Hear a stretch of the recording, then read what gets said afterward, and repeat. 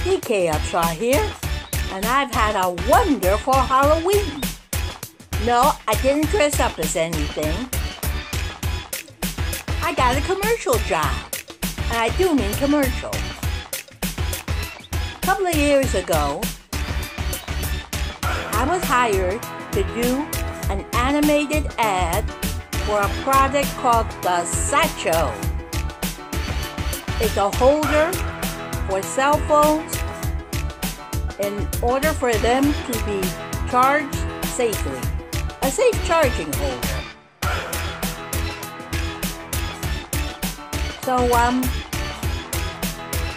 the Satcho's inventor has invented a new product. And I'm going to be doing the commercial for that. I start tomorrow.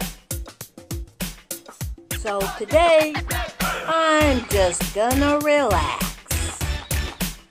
This is DK Upshaw saying bye.